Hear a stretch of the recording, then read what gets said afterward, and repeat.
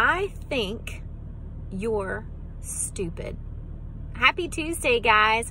Are you speaking the truth, but people are getting very angry with you? That happens to me quite a bit.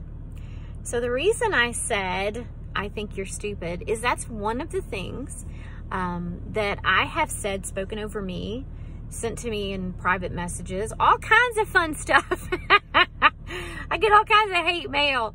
I get people telling me to shut up quite a bit. I get people telling me to go blank myself quite a bit.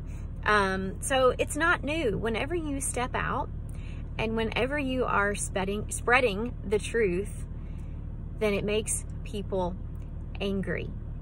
And what I have learned, and thanks to Paul um, in Galatians 4.16 in the Bible, it speaks to this.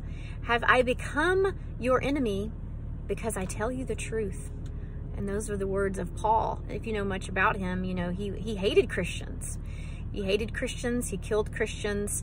Um, and then he was converted and went around preaching the gospel. And so, of course, he got people's ears, right? Because he was the known as the man who killed Christians, hated them, and now he's trying to convert people to Christianity. And so his message basically was saying, don't hate me because I tell you the truth. You know, I'm not the creator of the message. I'm just the messenger. That's between you and the Lord. And so do not meet anger with more anger. Meet anger with love. Anyone can meet anger with anger. Um, but when I get one of those comments, sometimes I just laugh to myself. When I read the one that said, I think you're stupid, that was a pretty good one because I thought, you know, there was a season when I was really stupid. and so I can agree with that uh, in a past tense.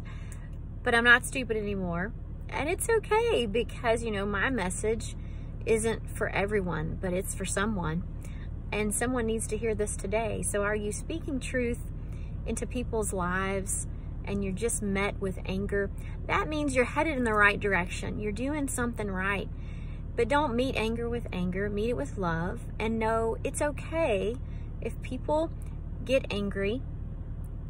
And it's okay because your message is not for everyone. But if you help one person, if one person listens and one person takes action on whatever it is that you are encouraging them to take action on, or you're encouraging them to not take action on, then isn't it worth it?